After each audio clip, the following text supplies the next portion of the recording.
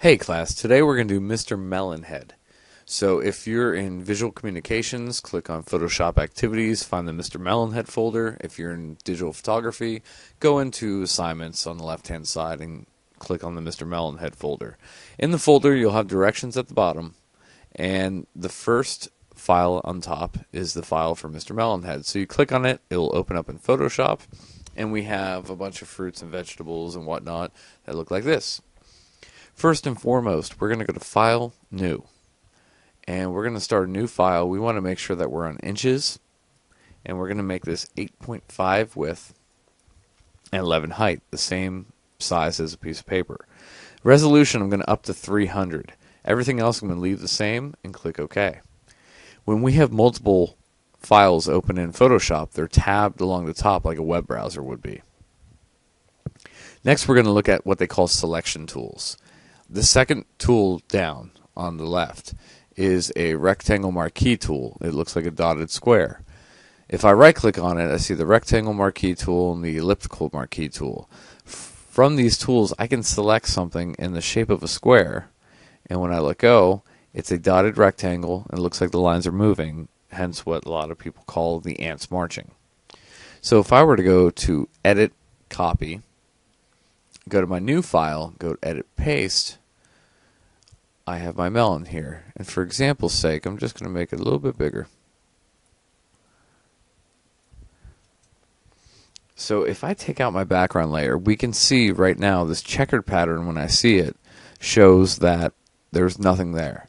So I cut out the melon right here with the white square around it for this project, we do not want that white square. I just simply want to show you what the rectangle marquee tool does.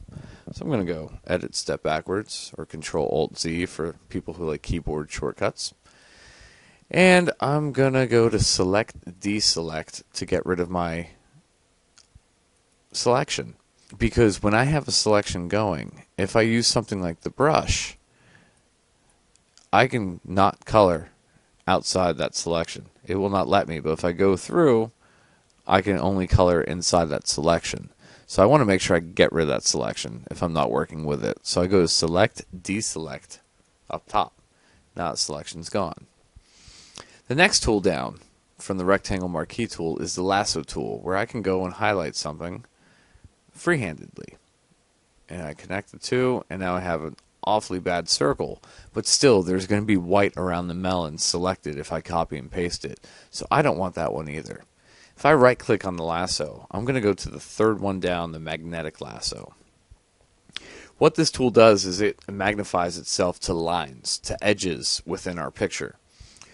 This picture is perfect because there's a white background, so there's a clear defined line between the melon and the white on the picture. So I'm going to click once up top here, you can see there's a black pinpoint. As I move the mouse down, it's going to put some more pinpoints.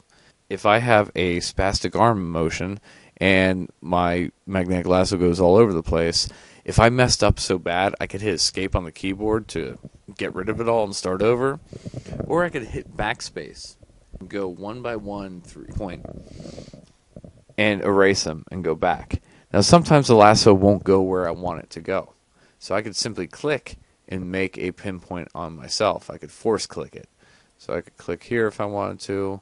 And when I get back to the first one, I'm going to finish my circle, click inside that first pinpoint, and now my whole melon is selected. There are ants marching around the whole melon. So I'm going to go to edit. I'm going to go to copy. I'm going to go to edit and paste. Now on the right hand side, I have two layers. I have a background layer, which I could toggle on and off with uh, by clicking the eyeball, and I have layer one. Next to the layer names, there is a small thumbnail, a preview of what's on that layer. This melon's so tiny I can't see it here, so I don't.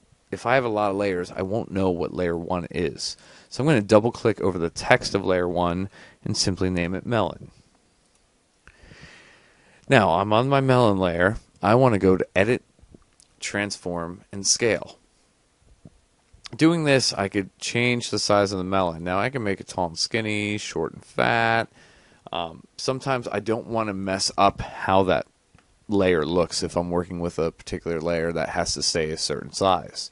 So if I go back to edit transform scale, if I hold down shift on the keyboard, then I grab a corner and stretch out that melon, it will keep it in proportion. Now, when I'm stretching it out, you could clearly see that the melon is pixelated, but when I hit enter on the keyboard to accept the size change, it goes back to being clear. This will not always happen if you get a poor quality image off Google and you try to make it bigger in Photoshop by going to edit transform scale, it's not going to clear up when you hit enter. So now I have my melon on here. So I'm going to look at this bow first, because this is where we can make a Mr. or a Miss Melon head. So I'm going to use a magnetic lasso. And the lasso was easy to use around the melon. But if I start to go around the bow here, it's not going inside every little ridge. It's just kind of going wherever.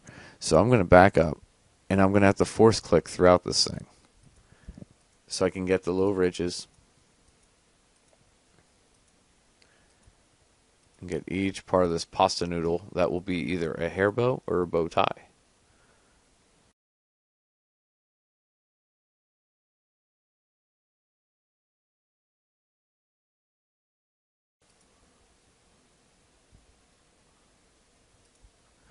Alright, so the whole bow tie is selected. I'm going to copy it, edit, paste, edit, transform, scale. So now I have another layer. It's back to name, being named layer 1, so I'm going to call it bow. And I'm going to go to my move tool, the first tool up here, and move the bow where I want to. Now maybe I want to put it up in the hair and angle it. The Edit Transform menu has Scale, Rotate, Skew, Distort, Perspective, Rotate, Flip. So I'm going to go to Rotate and just put it there.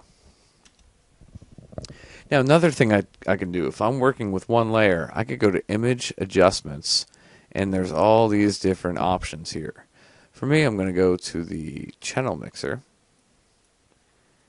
and I could change the color of that bow. So I'm going to make it green. And now it's there, because I'm going to make a Miss Melon head. For this assignment, you do not have to use every every picture in here. I've had students in the past, they'll go and Google things like top hats and glasses and put them on Mr. and Mrs. Melonhead as well. Uh, I'm going to show example of what happens if I do a bad, bad magnetic lasso.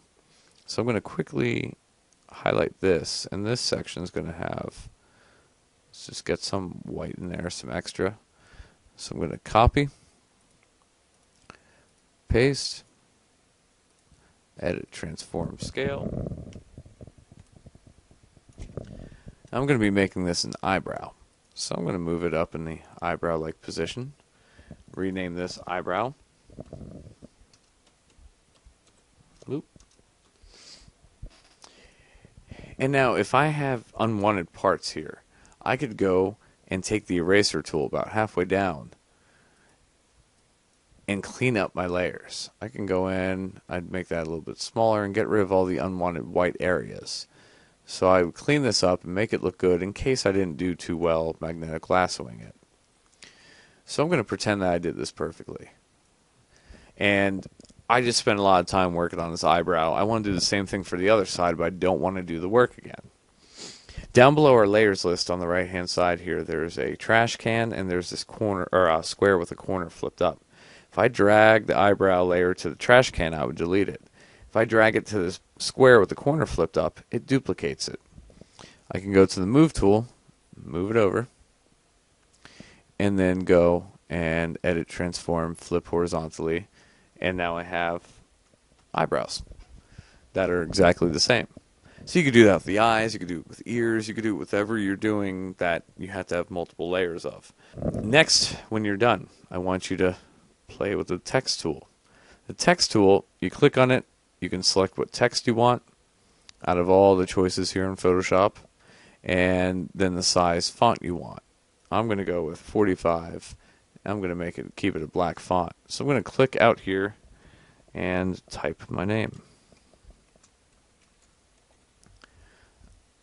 I can then place that wherever, but I'm putting my name on it.